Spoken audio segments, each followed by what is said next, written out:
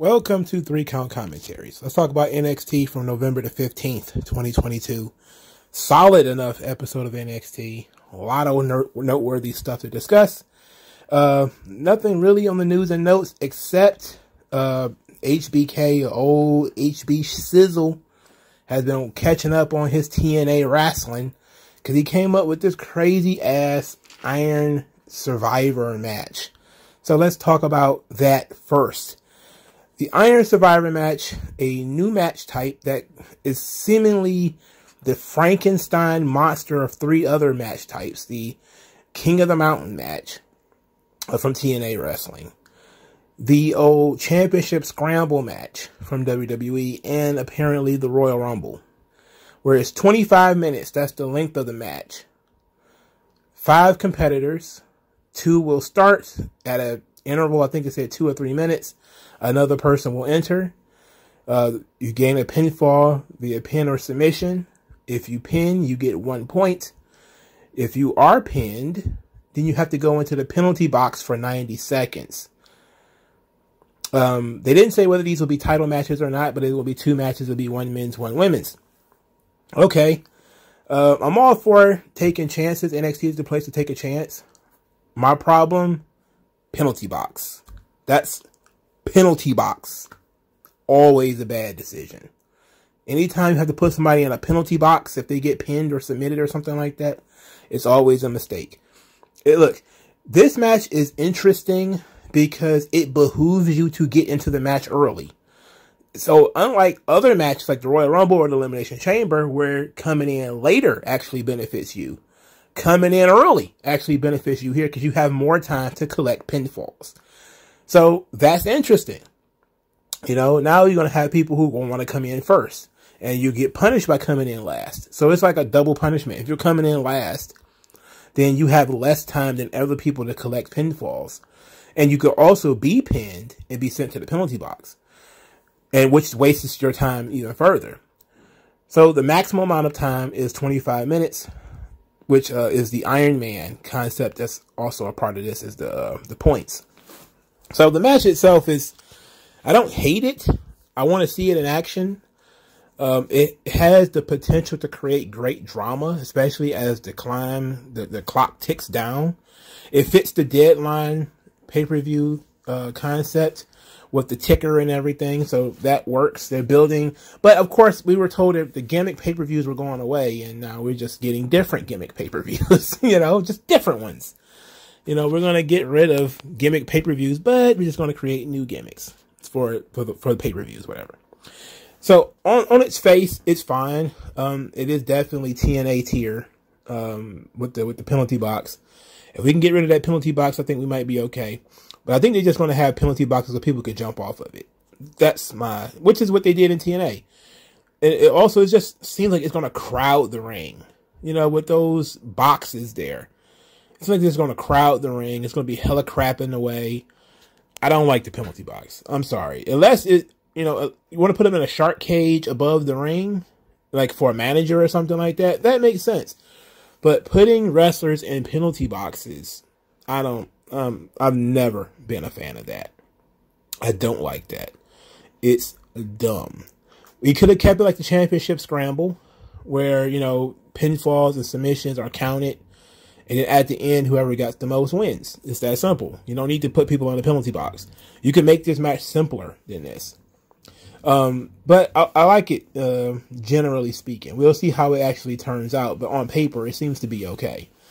Um, the uh, people entering in intervals is fine too, as long as the intervals are not too long. I don't remember what it was. I think it was like, uh, I don't want to say two minutes, but maybe three. But um, it ought to be fine, I guess.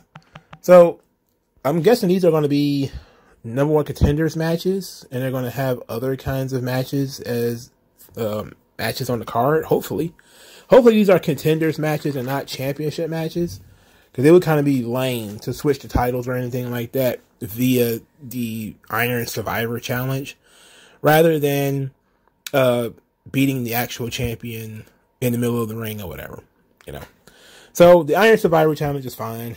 Um, it's definitely TNA tier, but it's not as bad as you know the Reverse Battle Royal or that goofy King of the Mountain match, which there's, you know, typically speaking, when it comes to a gimmick match in wrestling, the fewer rules, the better. You know, the more simple you can make it, the better. And this match is pretty simple. You know, whoever has the most pinfalls at the end of 25 minutes wins. It's the simple, it's very simple. But the penalty box complicates things. And to me, seems goofy to put people in the penalty box. All right. Um, we've all seen the Performance Center class, well, the females from the Performance Center class, and that Jade Gentile, uh, the Icelandic soccer player. I put it in the community tab if you have not seen it. She blew my mind, dog. That's all I'm to say about that. Blow my mind. I, I, I want to see her in action. I want to see her in action. I want to see what she got. You know, I want to see her, I want to see that thing move. You feel me? All right, match one: Bron Breakker versus Von Wagner. Um, I want to complain a little bit about the lack of introductions. And what I mean by the lack of introductions, what I mean is I was uh, perusing through Twitter and um, somebody had some old footage of like demolition working house shows and you get the uh, the total combined weight of 400 and yada yada yada pounds. And they didn't have a place they were from, but you know, they announced the total combined weight. And I was like, man, I remember, I miss those days of, you know, guys being announced by their weight, their hometown. You know, it made it feel like it was a legitimate fight. Like in boxing, you announce the weights and where they, where, where they come from. UFC, they announce their weights and where they come from. WWE just announces names now. They don't even announce, you know, where these guys come from. They don't even bother to make it up sometimes. And then what's even worse is when it's inconsistent. Like they'll announce uh, names and weights for some people, but not for others. And then they'll do names and weights for some matches and then not for others. It seems like you really take a lot of the drama out of the introduction, the build up, when you take out the names of the towns and the weights and, and stuff like that. More things that you can add to their introductions, the better. And I think that's what um, boxing and UFC have really shown. Like Triple H likes to take elements from boxing and UFC, you know, with the press conferences and everything, that's something that you need to take. Like boxing will tell you, you know, everything about the guy, the, the guy's record, how many knockouts he's got, you know, what championships he, he's won. Yeah, just give it to you the whole nine yards. And it really builds up for when you announce his name. And it, and it educates people who might not have known who this guy is. If you're seeing him for the first time, it's a it's a good way of doing things. Now, if WWE did those title cards like they do on Raw, where it's like those things on the side, if they did those for everybody that had, you know, hometown, weight, championships that they won, if that was consistent, then that would be a good enough way of, okay, we don't have to announce it. We can just do this little thing on the side. It says, you know, Seth Rollins from Davenport, Iowa, weighs 220 pounds, former WWE champion, former yada, yada, yada, former yada, yada, yada. You know, that way you can be caught up. But, um, this just naked, you know, in this corner, Bron Breakker. like, okay. In this corner, Von Wagner. Like, okay. Like us. Um, anyway, this match was fine. It was actually one of the better Von Wagner matches that I've ever seen. Uh, he was, you know, wrestled big guy style in this match. He's pretty hard hitting, but Brian Breakker is just something else. You know, just imagine if he was on the main roster and all the zombies, he's not ready yet. He's not. People did that though when Bron first started. People were like, he's not ready. He shouldn't be the champion yet. And I was one of those people. It was, it was a little too soon when he got his first title shot. It was too soon. But um, look at what he's grown into.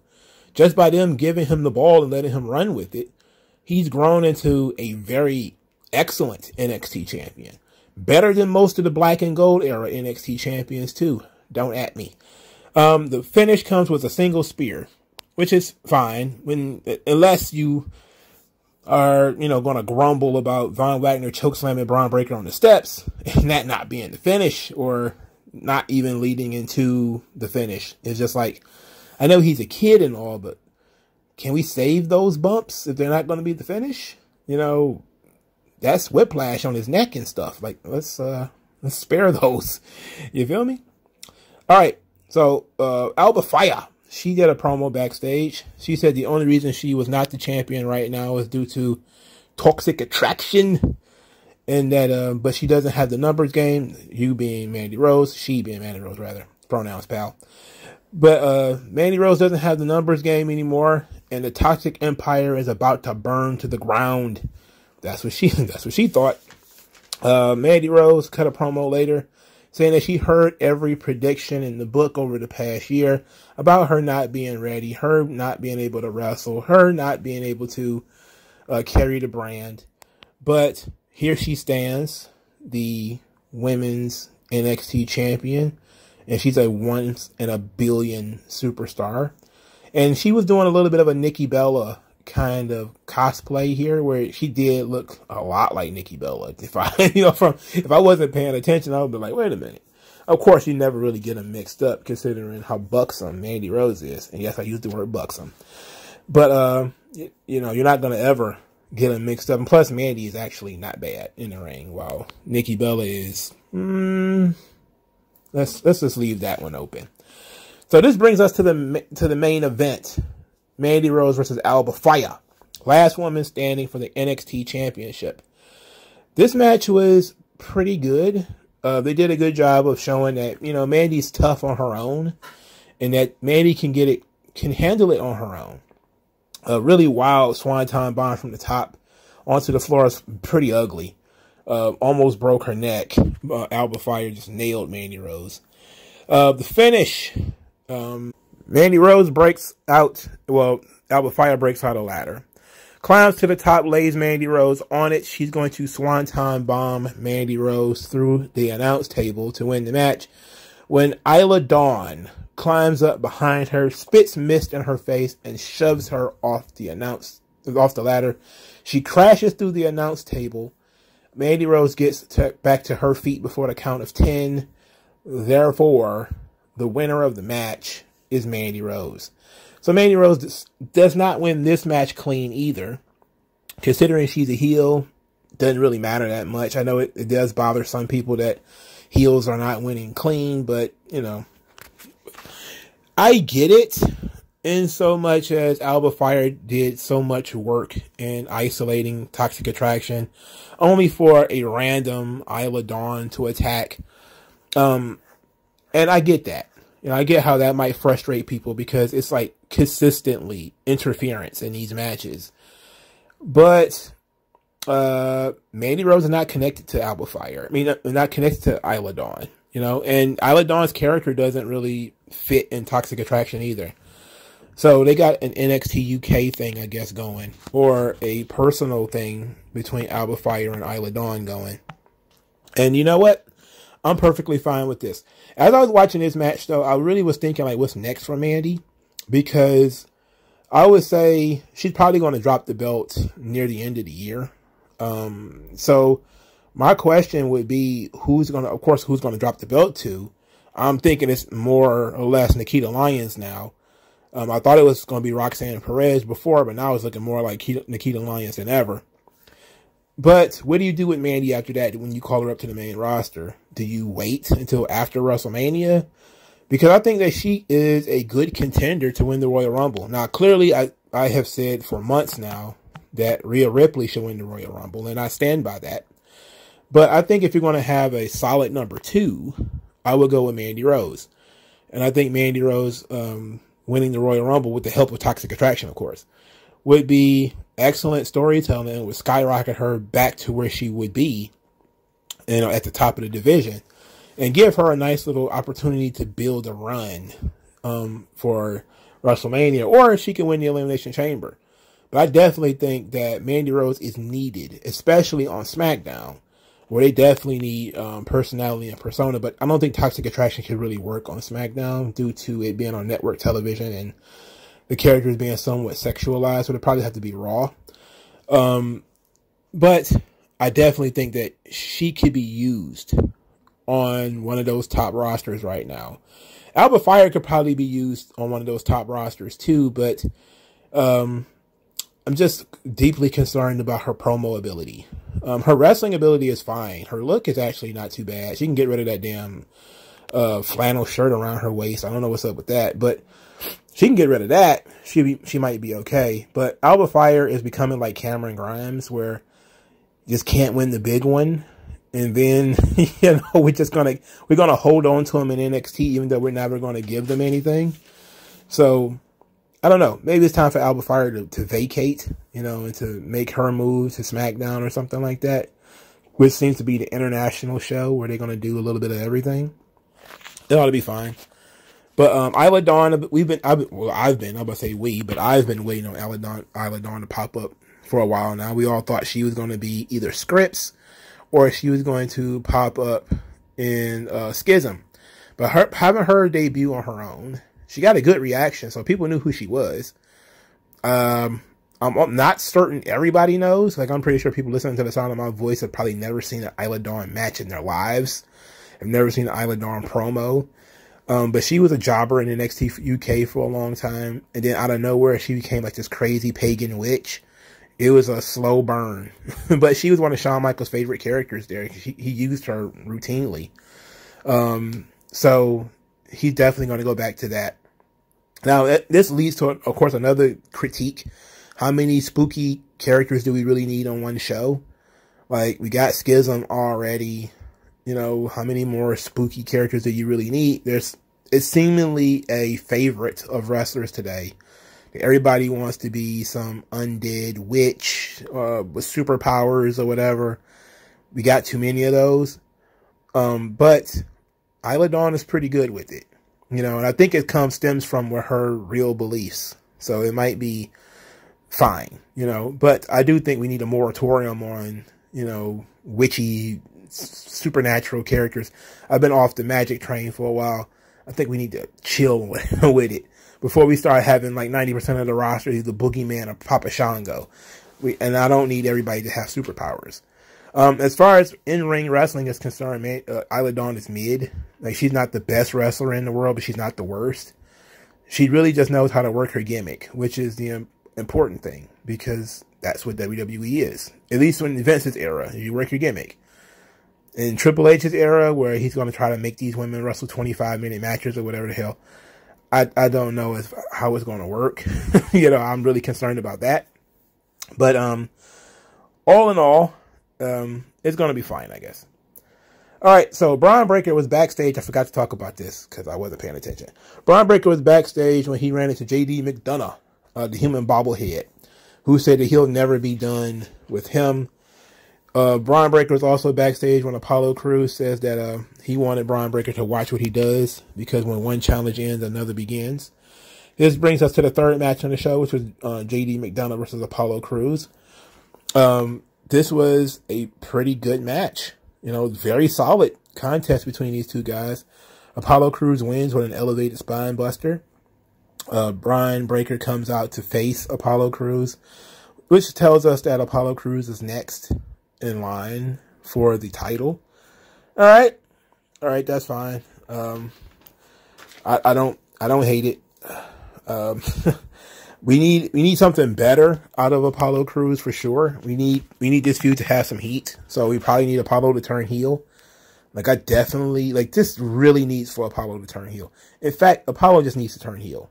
Not just for this match, but he just needs to turn heel, period in order to be interesting, he cannot be um, whatever this uh, the Oracle of NXT. He just can't be that guy. That guy sucks. You know, you you can clearly do something else. So, um, JD McDonagh is finally out of the title picture. Praise be to God. All right, Zoey Stark. Zoey Stark.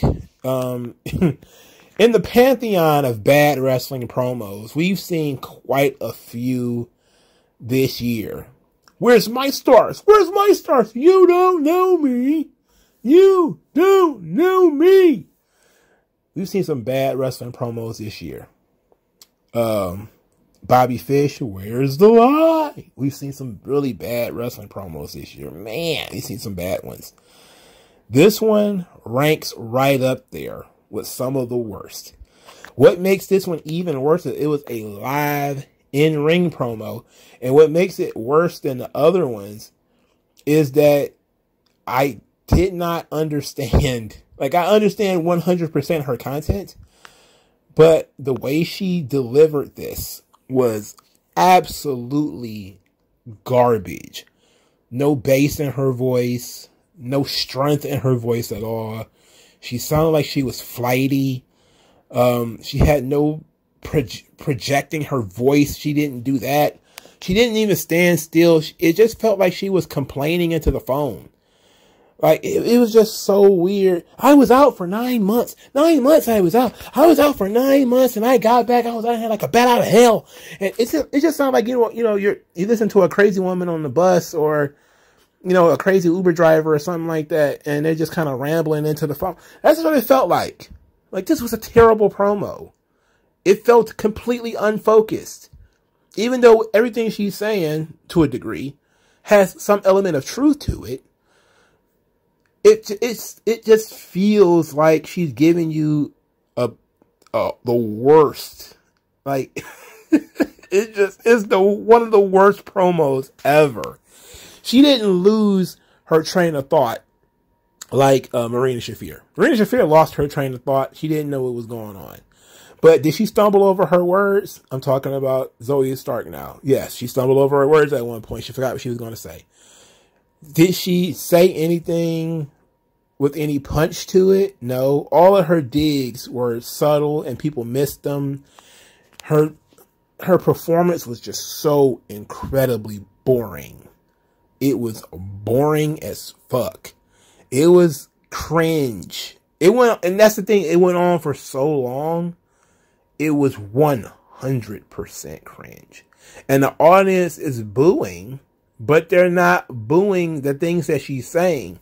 They're booing her even being up there. It's I'm telling you, it's like Showtime at the Apollo. It's like somebody should have just sent the Sandman out there to with the hook and just grabbed, snatched her ass off the stage, because that's what she needed. She needed to be physically removed from the facility for having a, a promo this bad on national television. Vince McMahon was paying for this shit. You know, he still is because he's the top investor of this fucking program. He should be calling Shawn Michaels on the phone and say, whoever that person is, I never want to see them again. This would be bad enough for me to tell Zoey Stark, baby, we're going to put you on a mask. I'll give you a mute gimmick. All right, we're going to treat you like EC3. You're going to run around in circles with like a red cup or something like that, and you're not going to say anything. We're not, we're not doing it. She does not have heel charisma. She does not have heel personality. She doesn't sound babyface. She just sounds like a cat lady yelling into the phone. And it didn't make any sense. It was stupid. The content of her promo was thus. She was injured for nine months, but she came back. She was, she felt like she was on top of her game. She got injured again in the match with Mandy Rose. Then she got pushed into a tag team with Nikita Lyons.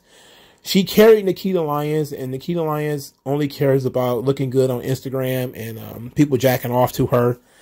While she is all about work ethic, and Nikita Lyons couldn't carry her own work ethic. And that NXT is not about the future anymore, it's about Zoey Stark.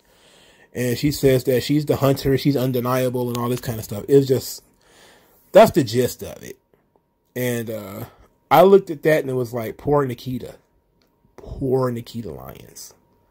I feel so bad for her because she has to feud with this, which means she's going to be tangling with this for a while. And look, I'm going to be honest with you. Maybe in the ring, Zoey Stark is not going to be that bad. You know, maybe in the ring, Zoey Stark is going to be okay. But any type of promo battle, ooh, mm, mm, mm, mm. I would definitely try to get out of this. if I was I would definitely try to talk my way out of this one. It's bad, dog. It's bad. Like this is top tier, terrible promo material. Like this is awful shit. And um, you can't beat it with a stick. It's not good. This is this is the shits. This definitely felt like you're watching a bad play. You know, like Shakespeare in an alleyway or something like that. Hark, who goes there? You know, in the like, man, what the one of the worst promos in the history of the business. I don't know what it is about modern wrestlers, but they're not good at talking. They're excellent athletes, but they're not good at talking. Jesus Christ, that's the that's the easiest part of the game. All you gotta do is talk. All you gotta do is talk, man. I don't know. These pretzels are making me thirsty. All right, Chase University did a promo where um, Andre Chase asked Duke Hudson if he wanted to see him lose. Duke Hudson says that um, he couldn't stand to watch Andre Chase in pain. And so that's why he threw in the towel because if he goes down, then the university goes down. And if people think that he's a bad person because he didn't want to watch Chase uh, get hurt, then he'll take it. So um, he's being overzealous, which is actually pretty interesting. You know, I, I don't I'm, I do not hate this. I don't hate it. They're really doing a good job with Duke Hudson, uh, putting him in the Bodhi Hayward spot. All right, Indus Sher uh, Sango and Sango, Sanga and Veer murdered two little guys in what was epic and hilarious fashion. Uh, I think it was Veer that grabbed one of those little dudes and threw him, and the little dude didn't rotate and go all the way over, and instead landed on his shoulder. So it looked like if you've ever seen Attack on Titan and like one of those, like one of these guys with these zip lines and they're trying to attack these giant titans and they get snatched from the air and crushed and they get their heads chewed off and stuff like that. That's what I was watching here. This shit fucking ruled, dog. This ruled ass. Right? These fucking guys are huge. Yeah, one of them's hairy as hell. You know, the other one's covered in tattoos. They're gonna go out there and eat a couple of little guys.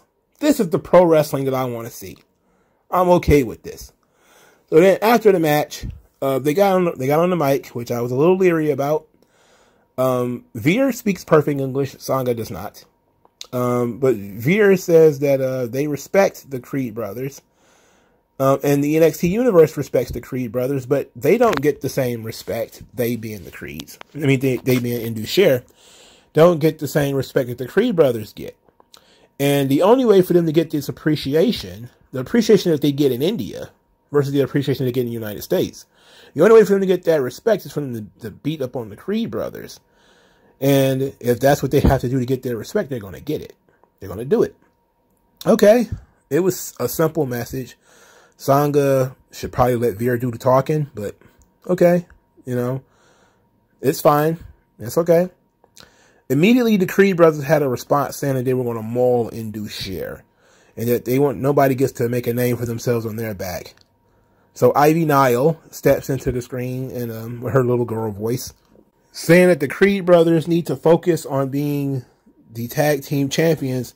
And they're like, nope, we want to fight Indus Sher. And she's like, I'm pretty sure you guys should focus on being the champion. They're like, nope, we're going to fight Indus Sher. And she was like, well, I'm not going to argue with you guys. You guys got, you guys know what you're doing. But I think you're going down the wrong path. So we see that Ivy Nile is probably about to turn heel and about to continue the breakup of Diamond Mine as the Creed brothers are going to go on a, a, war path to do their own thing and not care about championships, which, you know, Ivy Nile, you've been there for a year now. You should care about championships too. Um, but she was there because she wanted to hang out with her bud, Tatum Paxley. Tatum Paxley wrestled Indi Hartwell and lost. Um, there was no introductions at all in this match. Nobody, they didn't even say what their names were. Um, the lights blinked a little bit. I'm guessing that was part of the gimmick. Anyway, uh, Indi Hartwell won. She removed Tatum Paxley's mask. Um, Tatum Paxley broke her nose a couple of years, a couple of years, a couple of months ago, maybe a couple of weeks, and has been wrestling under a mask since. So Indi Hartwell took advantage of that and won. Okay, uh, she's still hanging around. Uh, later in the show, Roxanne Perez congratulated Indi Hartwell, which Indi Hartwell graciously accepted but then criticized her for removing Tatum Paxley's mask, saying that maybe she did a little too much. Indi Hartwell says, Look, I'll do anything to get into one of those Iron Survivors matches, and if I have to break somebody's nose, I'll do that. And what do you think? You know, if Tatum Paxley would have broke my nose. So they basically have turning uh, Roxanne Perez into a judgmental little doofus. Like she's she's judging her friends now. you know, she's being judgy and preachy. And that's not a good idea. I understand she wants to be a good guy, but you know, sometimes you gotta let people do what they do, man. Sometimes you gotta step aside, let people do what they do. But um, or you can make a statement, like you know, not the way I would have done it, but congratulations. And it still would have been judgmental, but eventually, people like India enough where they are not going to take kindly to the constant criticisms from Roxanne Perez. Unless you're going to turn her into a preachy, goody two shoes, teacher's pet type of gimmick, you probably should stop. you know, probably should stop having her criticize Indi Hartwell's success. You know, let's not do that. The crowd likes Indi Hartwell.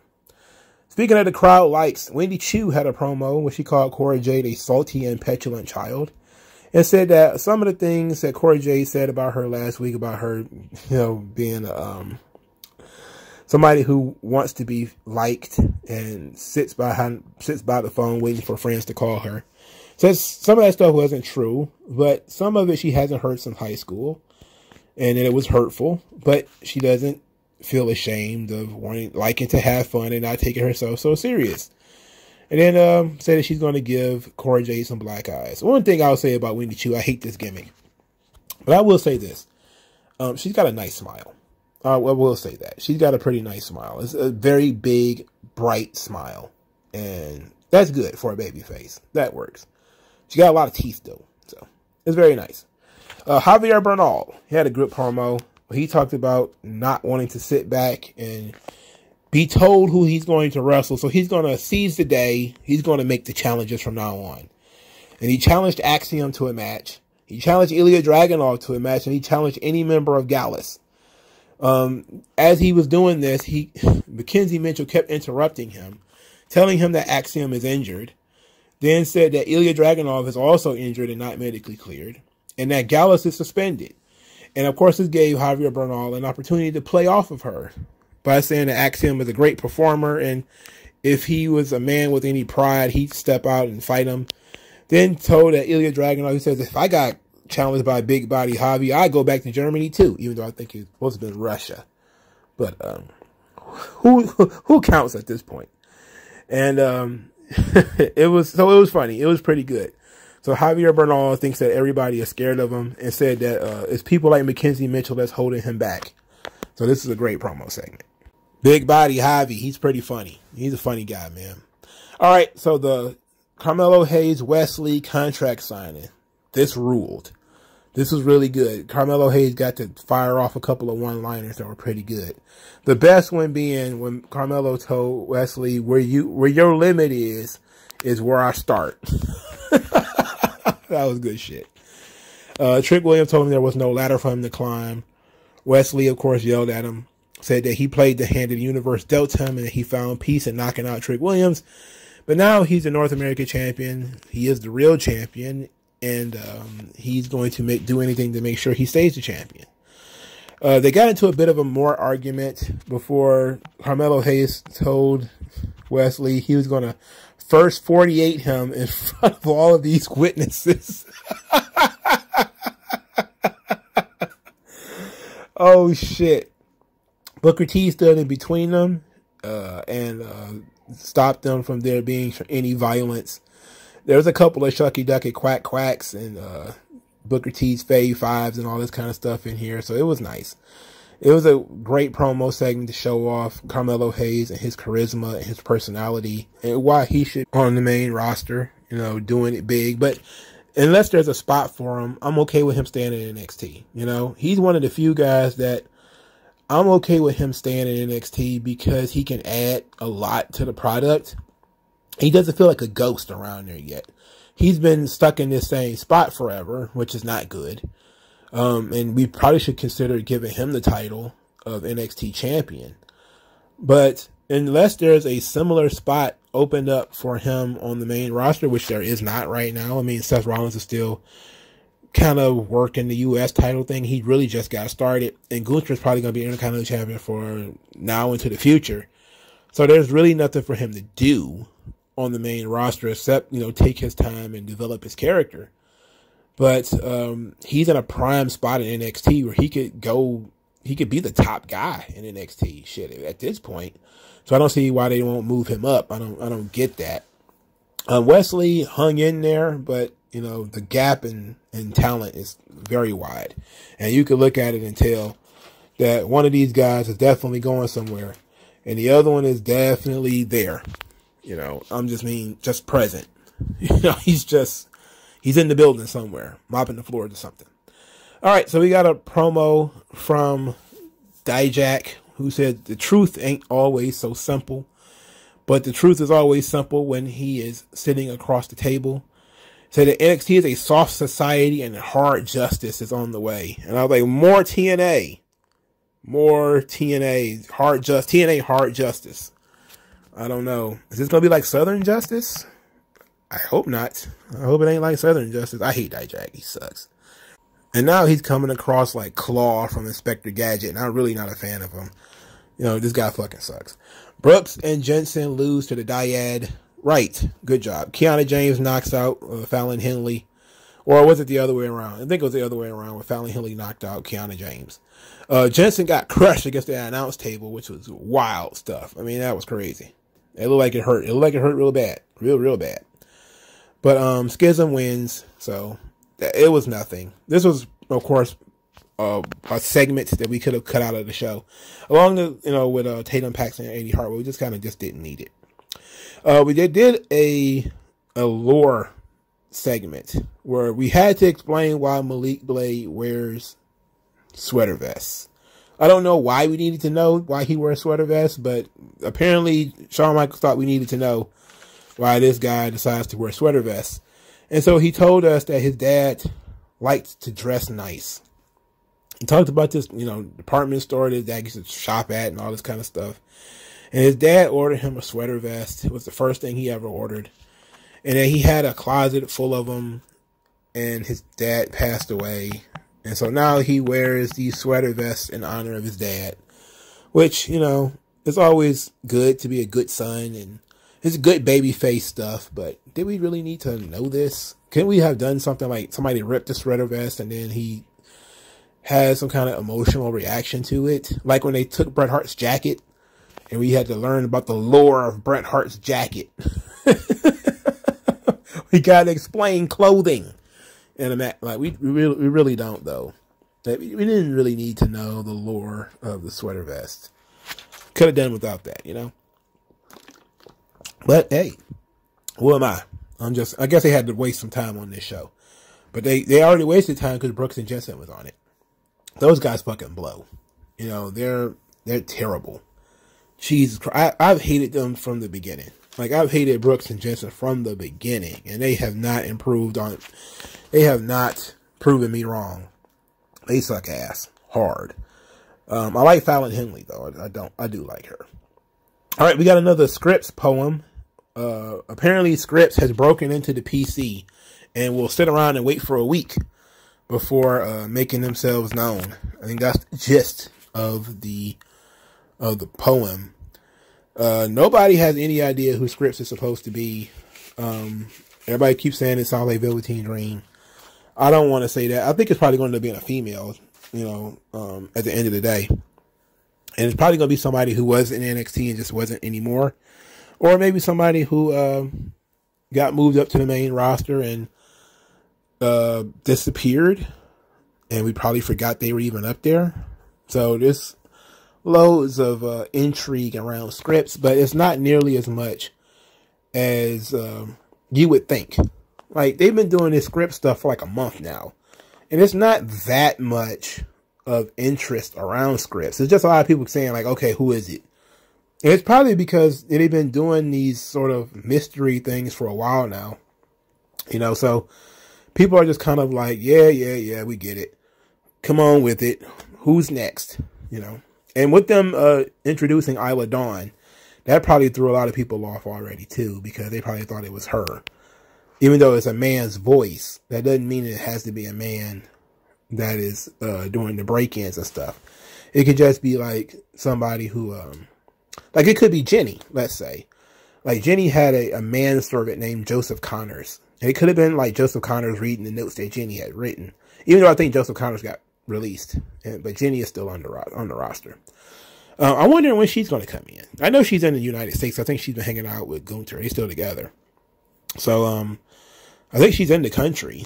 But Jinny has this great Cruella de Vil look to her, where she just looks like a mean lady, like a like a mean Mary Poppins. Like I, like her so much. Um, I really thought she should have been NXT Women's Champion, well, the NXT UK Women's Champion. But that's when they were doing the Kay Lee Ray should beat everybody storyline, and which was not as fun as it sounded, right? which I know it doesn't even sound very fun. Anyway, this was NXT. This was a really good show.